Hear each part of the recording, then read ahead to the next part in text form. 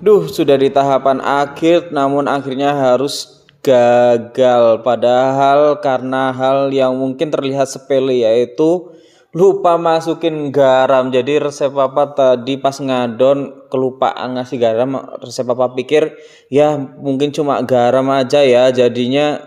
nggak terlalu pengaruh banget dan ternyata ini malah jadinya